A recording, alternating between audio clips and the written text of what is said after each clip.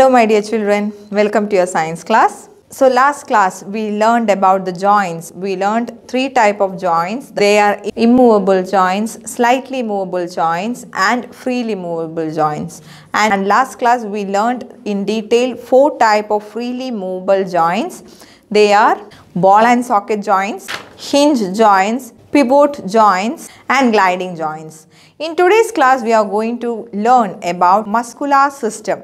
Before learning about muscular system, teacher have given you a small homework. Let's discuss the homework which I have given you in last class in page number 74.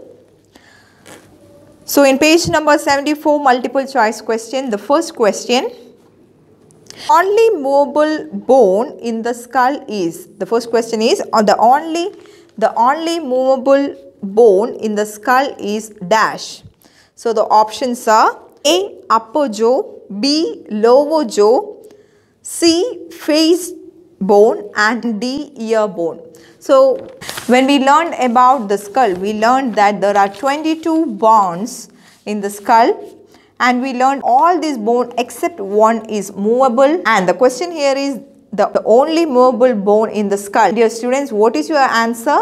Yes, the option is B that is the lower jaw bones.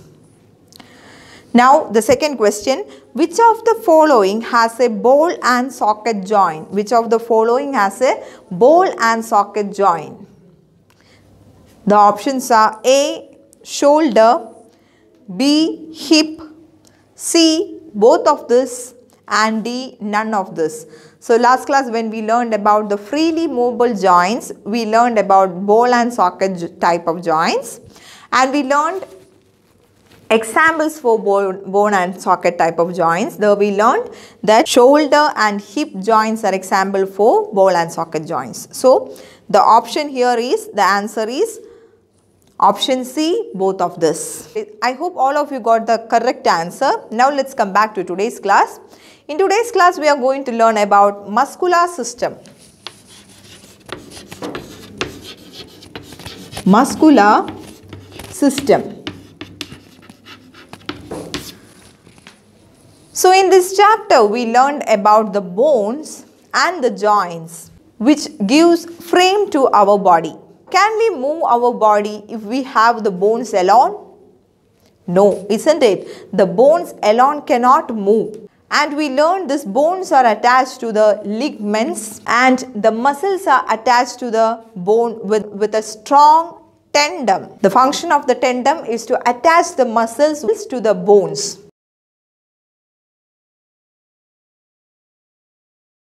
Muscles present in our body help the bones to move. For all the activities in our body, the movement is possible with the help of muscles. These muscles help the bones to move. So the function of the bone is to give a framework to our body whereas the muscles are helping the bones for the movement. Now the number of muscles varies from 656 to 800 in numbers. So the number of muscles varies from 656 to 800 number of muscles. Among this, almost 639 of muscles are skeletal muscles. They are skeletal muscles. So 639 of muscles are skeletal muscles and each of the skeletal muscles are having particular movement. They are the muscles which controls the facial expressions like smile.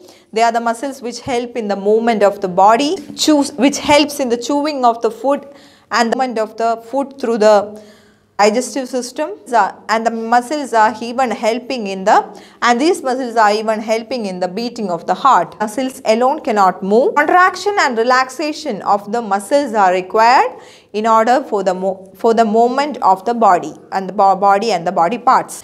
Now when the muscles are contracting what happens is the muscles pull the pull the bones along with them. So the contracted muscles they cannot be, be relaxed and place the bone back. For in order for that other muscle is required for the for the pull back of the muscle that contracted. So likewise the muscles are working pairs for the movement of the bones.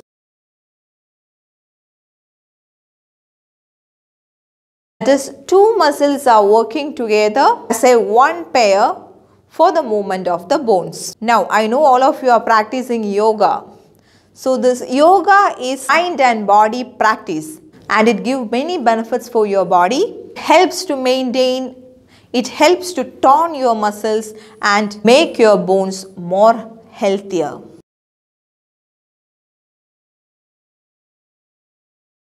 I hope all of you understood I taught you today. See you in next class. Thank you.